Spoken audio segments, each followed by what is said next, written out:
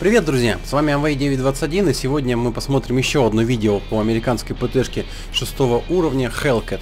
Конечно, совершенно незаслуженно было бы сделать всего лишь одно видео по этому замечательному аппарату.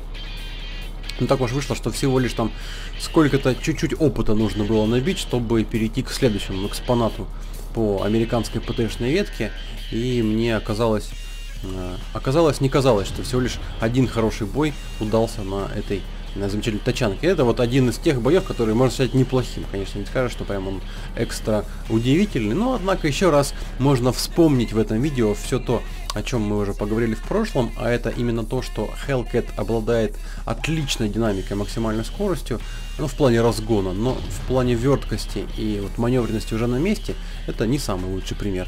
И несмотря на это, это является одной из самых потрясающих машинок в игре. Очень многие игроки обожают ее за то, что она такая вот быстрая.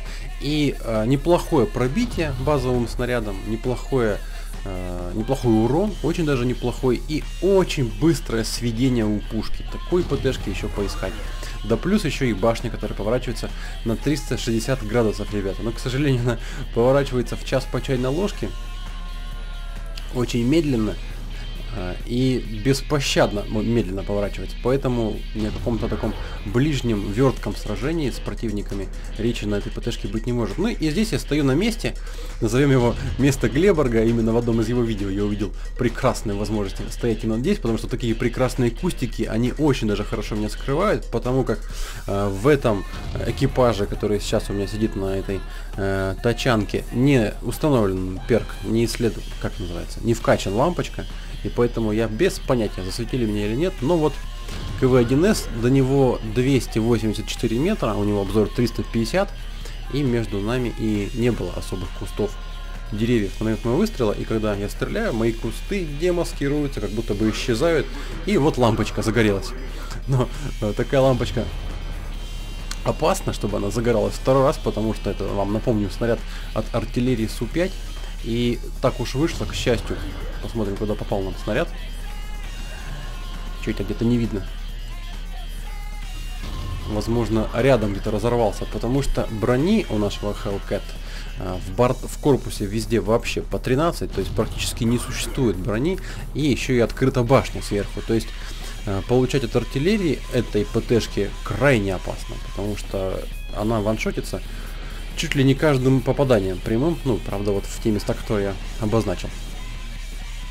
И здесь я занимаюсь лишь тем, что помогаю союзникам нашим на седьмой линии по мини-карте отстрелять все, что к ним проезжает под мостом или в районе досягаемости моего обзора. Вот. И благодаря моим каким-то небольшим действиям 1000 хп удалось тут снять с противников, и враги уже подъехали более-менее расслабленные для наших ребят. Но и там еще происходят не всякие непоправимые ситуации, и вот я здесь уже решаю э, сделать акшен, проехать вперед и быть максимально полезным тем, э, кто все-таки остался там. Вижу, что квас у противника спрятался за домиком, который можно разрушить. И что стесняться, нужно его рушить. Время есть пока, пока он стоит на месте. Вот он обнажился, обнажил свой каток. И вот удачно снаряд пролетает и неплохой дамаг из кваса выбивает попасть бы еще второй раз, было бы вообще здорово. Но вот, к сожалению, а, он уничтожает нашего одного союзника.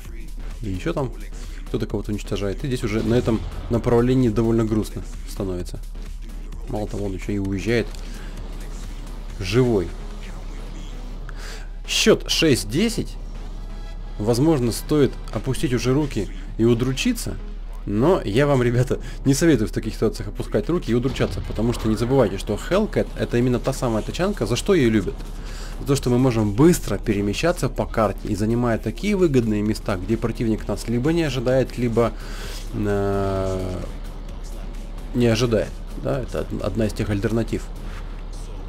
Ну вот вижу, что теперь противник меня все-таки ожидает, потому что они начали захват базы, и я решаю все-таки приехать и оказаться на захвате первым, чтобы не приехали все остальные из этих вот троих ребят. Ну вот смотрите, стоит 3485. Я знаю, что верх моей башни единственная броня, которая есть, и с моим быстрым сведением я свелся даже до того, как он успел свестись и выстрелить. Хотя приехал на точку позже. Ну вот, может быть, вам такая мелочь незаметная, но именно в этом Hellcat, ну, просто нет ему равных. Вот быстро, когда сводится пушка, это невероятно комфортно. Хоть вдаль стрелять, хоть в упор, хоть как угодно. Так, ну кто здесь у нас? Елка стоит на захвате. Снимаем с нее очки захвата.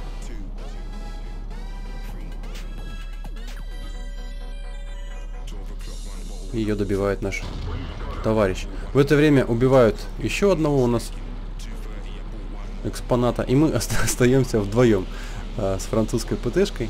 Но динамика, конечно, ее по сравнению со мной никакая, и поэтому я принимаю решение все-таки воспользоваться данным э, от разработчиков, это поехать за артиллерией, потому что с квасом мы разберемся в любом случае вдвоем, да я один с ним разберусь э, практически ну, на 99%, что я окажусь где-нибудь сзади него и успею его объехать, что он никуда не успеет вернуться и деться, и шансов у него мало. Но артиллерия, возможно, очень сильно меня будет беспокоить, потому как любой снаряд от нее может быть последним.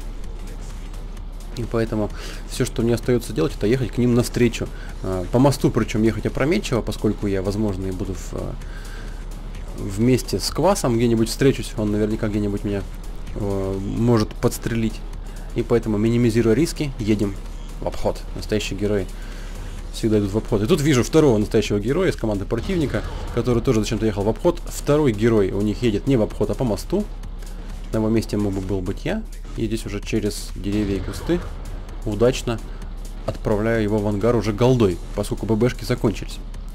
Это очередной тот бой, когда с боеприпасами, тут на грани все проходит. А, это был выстрел от Бизона, вероятнее всего. И еду за ним.